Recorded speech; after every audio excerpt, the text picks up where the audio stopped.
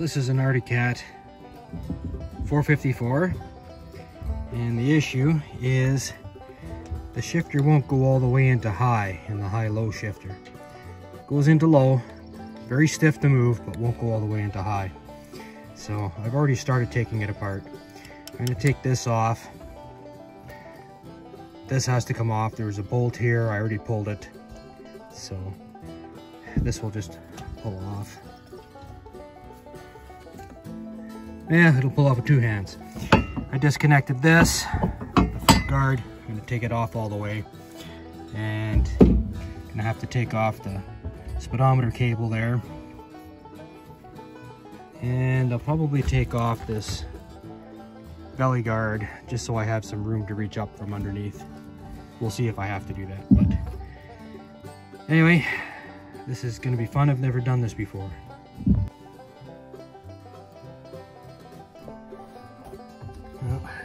Disconnected, loosen that off.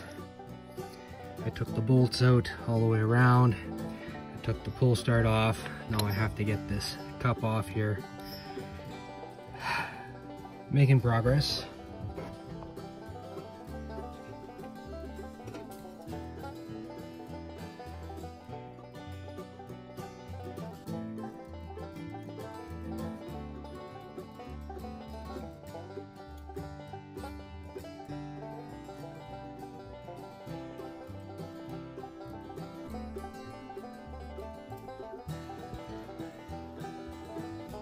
I took this apart.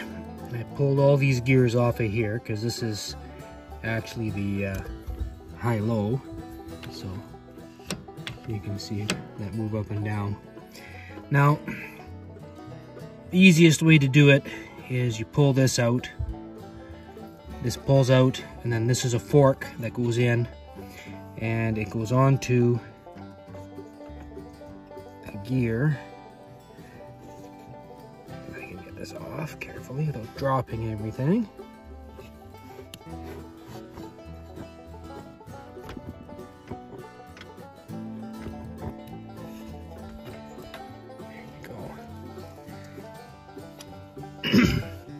so you can see it's got these teeth on it and it has teeth that are a different size on the other side.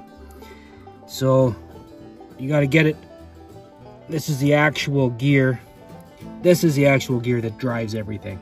You can see it's got splines on that shaft, while the only gear that has splines in this in this is the center gear.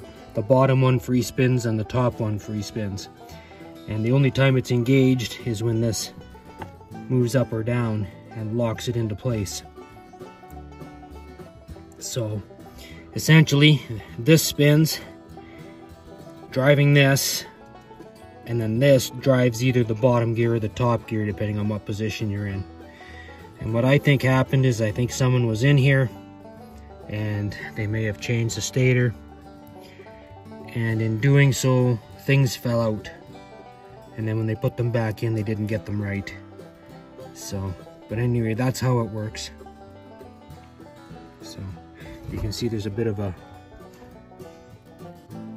slot there and that slot runs and moves this up and down when you turn this.